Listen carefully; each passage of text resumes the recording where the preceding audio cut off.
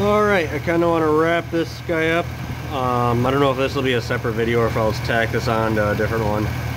Um, but here's what I got for a waveform here now.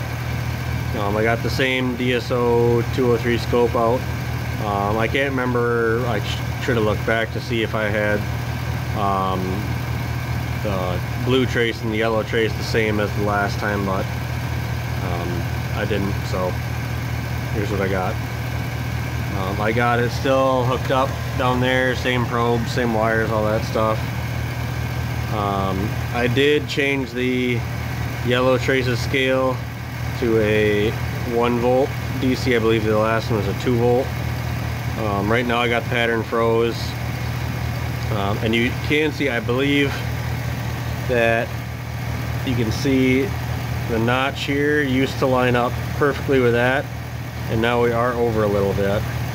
Um, I should take some cursors and put it in but I just I mean I can't I can do cursors with this but they're not I mean, they really don't tell you a heck of a lot I guess.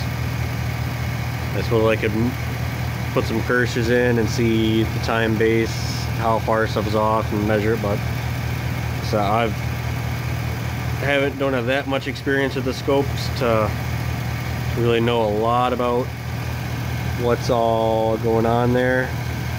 Um, let me see if I can just quick let's see so we can see I'll move the one cursor over into that notch and see how it's just not quite measured up with that guy. And The other one way over there too.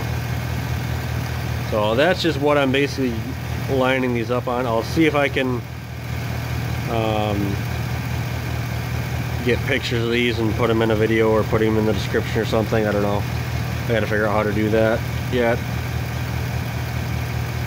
So let's see.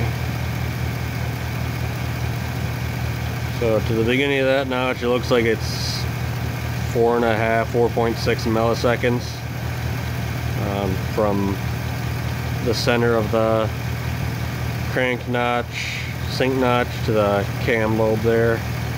Um, you can zoom in more on that yellow trace and get better detail on it, but I wanted to be able to see um, a full, like a 720 degree rotation there um, on one screen so I can kind of line up the notches easier. So, I mean, I can, let's see, let it run. Let's see if we can do this through the viewfinder.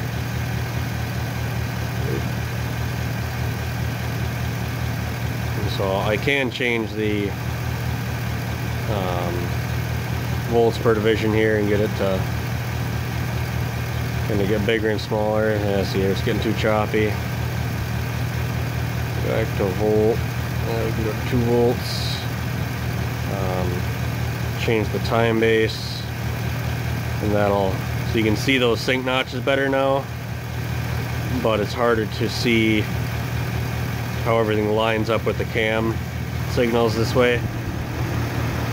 So I just what did I have it at 20 milliseconds? Yeah that way I could see the sync notches better. Um, yeah so that's what I went by. You can pause it just like that. I'll put a link for this little scope down below. Um, it's a good, it's basically like a four channel U scope from what I found out during my video research and all that. Um, seemed like a nice little scope. I mean, it's no Pico scope where you could zoom in better and get a better picture, but just the way it is. Um, so yeah, that's really all I got for this video, I guess. Um,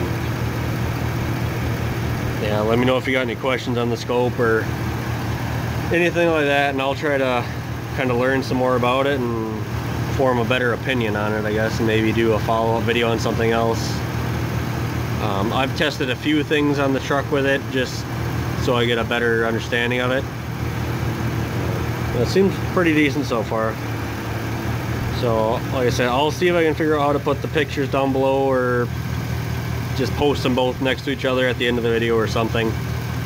Um, and that way, if somebody else needs a waveform like this, hopefully they can pause it and screenshot or at least look at it and see about where it's supposed to be. So thanks everybody for watching and hopefully uh, check out some of my other videos.